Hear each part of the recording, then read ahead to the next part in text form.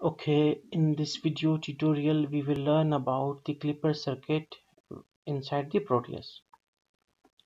So for it first of all you need to take one sine signal. Let's make it some bit big so that you can easily see it. So this is our input sine signal or sine wave. Double click on it and change its amplitude to like 80 volts and frequency to about 25 press ok. Then take one oscilloscope for the understanding and analysis of the clipper circuit. So this is our oscilloscope with four channels that is a b c and d. Now take one resistor that must be of like uh, 8k 0.6 watt metal film.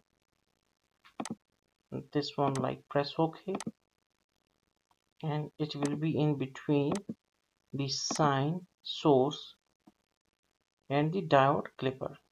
And also take one diode. That is generic. Any diode that is generic. So it will work for us. Can now rotate uh, sorry rotate.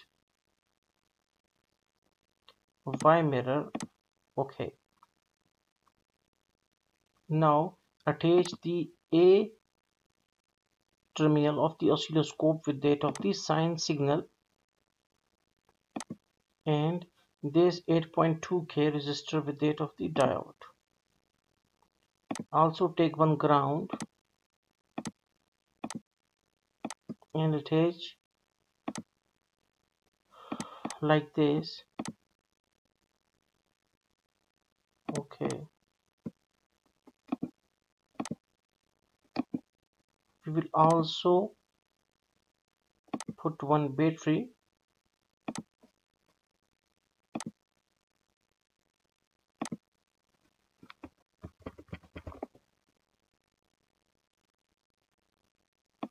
we will just take one battery and put it there.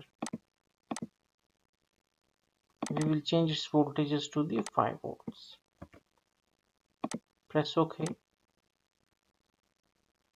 And also connect this B